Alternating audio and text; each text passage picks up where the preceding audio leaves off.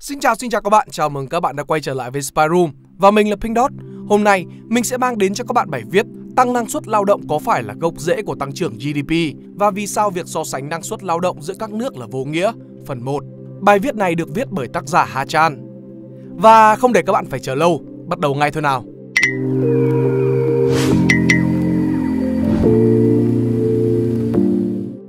Gần đây, năng suất lao động của Việt Nam là một vấn đề được nhiều người quan tâm.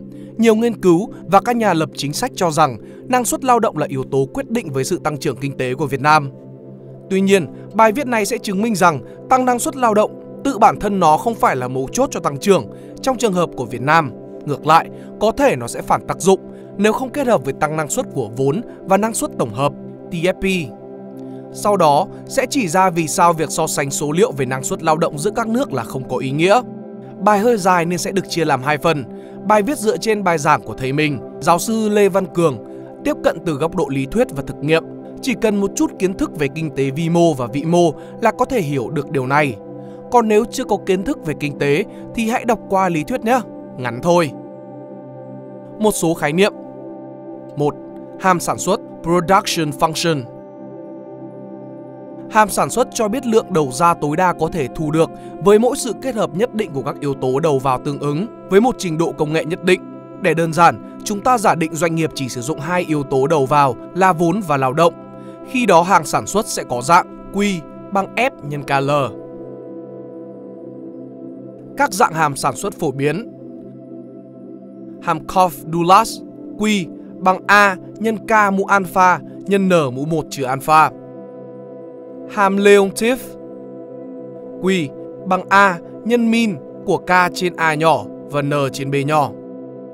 Trong đó, Q là sản lượng đầu ra, A là tiến bộ khoa học công nghệ hay còn gọi là năng suất tổng hợp, ký hiệu là TFP, Total Factor Productivity. K là tích lũy vốn, Capital Stock, vốn ở đây là máy móc chứ không phải là lượng tiền. N là số lượng lao động, thường được đo bằng số giờ lao động alpha và beta trong hàm Koff-Dulles là hệ số co giãn của vốn và lao động theo sản lượng hay tỷ lệ đóng góp của vốn và lao động vào sản lượng. Trong quá trình sản xuất, các doanh nghiệp sử dụng lao động vốn và máy với sự hỗ trợ của tiến bộ công nghệ để sản xuất ra các sản phẩm cuối cùng. Sự tăng trưởng phụ thuộc vào các yếu tố đầu vào.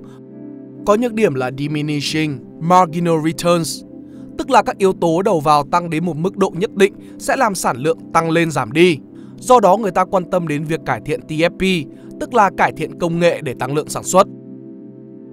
2. Sản xuất theo quy mô, return to scale. Trong dài hạn, khi tất cả các yếu tố đầu vào thay đổi, doanh nghiệp phải tính đến phương án tăng sản lượng. Return to scale là tỷ lượng tăng sản lượng đầu ra khi các yếu tố đầu vào tăng lên cùng một tỷ lệ. Có 3 trường hợp có thể xảy ra. Increasing return to scale Hiệu suất tăng theo quy mô. Khi vốn và lao động K và N cùng tăng lên N lần, thì sản lượng Q cũng tăng lên M lần, với M lớn hơn N. Constant return to scale, hiệu suất không thay đổi theo quy mô. Khi vốn và lao động K và N cùng tăng lên N lần thì sản lượng Q tăng lên M lần với M bằng với N. Decreasing return to scale, hiệu suất giảm theo quy mô.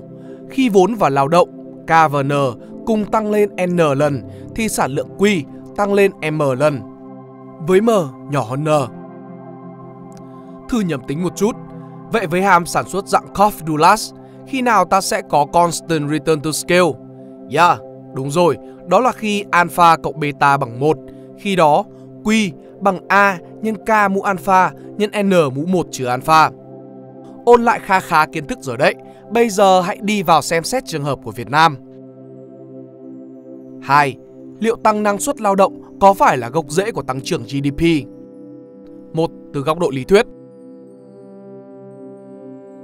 các nghiên cứu về năng suất lao động của Việt Nam thường dựa trên giả định về dạng hàm sản xuất là Koff Dulas có constant return to scale. Giả định này có căn cứ do hàm Koff Dulas thường được sử dụng khi nghiên cứu với trường hợp của nhiều nước và cho kết quả tin cậy. Vẫn giữ những giả định này, lấy Y, K và N lần lượt là GDP, tích lũy vốn và số lượng lao động. năng suất lao động ở đây được tính bằng Y trên N.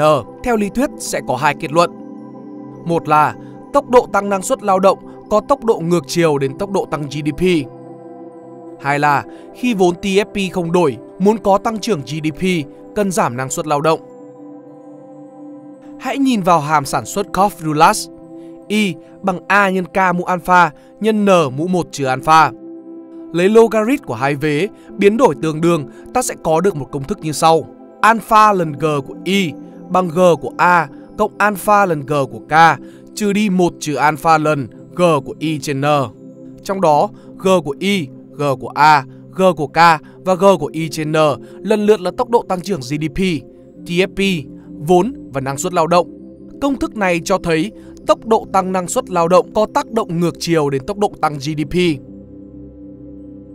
Về mặt khác, có thể viết lại hàm sản xuất thành 1 bằng với cả A nhân K trên N mũ alpha nhân N trên Y mũ 1 trừ alpha tương đương với 1 bằng 1 trên A nhân Y trên K mũ trừ alpha nhân Y trên N mũ alpha trừ 1. Công thức này thể hiện năng suất vốn Y trên K và năng suất lao động Y trên N thay thế cho nhau, tức là nếu năng suất lao động giảm thì năng suất vốn phải tăng, nếu A không đổi, K không đổi, muốn Y tăng thì Y trên K sẽ tăng, khi đó Y trên N phải giảm. Chân thành cảm ơn anh Việt Anh vào lúc 2 giờ sáng đã tìm ra chỗ của tác giả viết sai. Do đó, khi vốn TFP không đổi, muốn có tăng trưởng GDP, cần giảm năng suất lao động. Hai kết luận này phủ nhận quan điểm cho rằng giảm năng suất lao động làm tăng trưởng GDP. 2. Từ góc độ thực nghiệm Thầy mình đã đồng thực hiện một nghiên cứu dựa trên số liệu của Việt Nam giai đoạn 2005 đến 2017. Tất nhiên, có thể có người lý luận rằng dùng các phương pháp khác nhau, số liệu khác nhau thì sẽ dẫn đến kết quả khác nhau, nhưng mình tin đây là một nghiên cứu tốt. Từ số liệu và tiến hành hồi quy, một phương pháp trong kinh tế lượng, kết quả cho thấy hàm sản xuất của Việt Nam trong giai đoạn 2005 đến 2017 có dạng hàm Leontief Y bằng A nhân với cả min của K trên A và N trên B bằng A nhân K. Kết quả chỉ ra K trên A nhỏ hơn N trên B, A bằng 1 nên cuối cùng không còn xuất hiện A và N trên B ở đây nữa. Trong hàm Leontief, 1 trên A và 1 trên B là Unit Input Requirements, tức là lượng vốn và lao động cần thiết để sản xuất ra một đơn vị sản lượng, có ý nghĩa tương tự với năng suất của vốn và lao động. Khi K trên A nhỏ hơn N trên B thì dù có tăng 1 trên B, tức là tăng năng suất lao động, thì Y vẫn không đổi, tức là tăng năng suất lao động không làm tăng GDP. Trong trường hợp này cũng là trường hợp của Việt Nam theo kết quả nghiên cứu trên. Muốn tăng GDP cần tăng năng suất của cả vốn lao động, đồng thời với việc cần đầu tư vào cả máy móc thay vì chỉ tìm cách tăng năng suất lao động. Ngoài ra, năng suất tổng hợp TFP cũng là một yếu tố cần được quan tâm.